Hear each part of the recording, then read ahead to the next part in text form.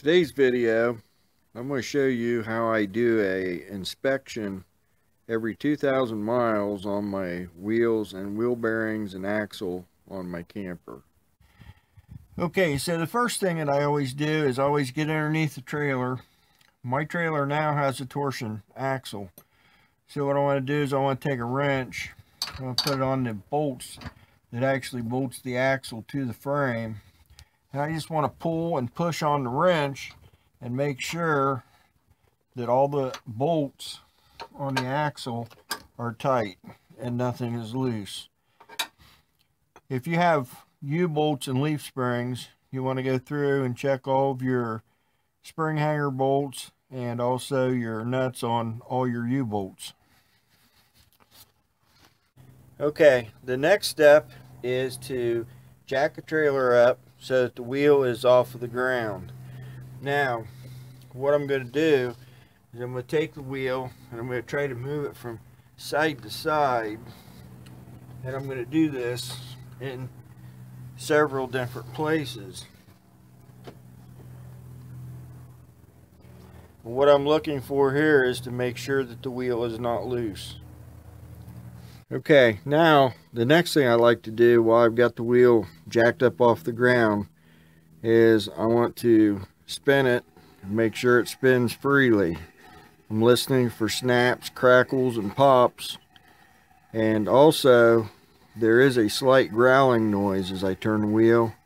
That is the brake pads or the brake shoes and the magnets rubbing the drum, which is normal if the brakes are adjusted correctly. Okay, the next thing I like to do is to give the wheel bearings a little bit of grease. So the first thing we're going to do is we're going to take a putty knife and we're going to use it to take the cover off. The next thing we're going to do is use a flat tip screwdriver and we're going to use it to work the rubber dust cover off of the inside bearing cover.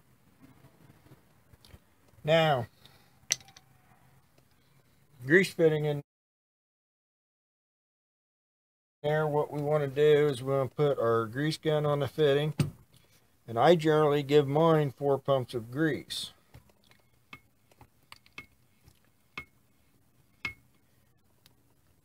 Take the grease gun back off.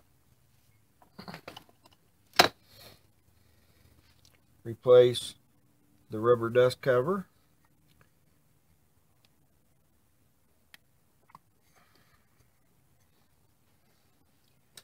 Put the chrome cap back on and we're done. The next thing we want to do is we want to go ahead and we want to check the tire inflation pressure. It's always a good idea to look on the sidewall of the tire for what the manufacturer's recommended pressure is.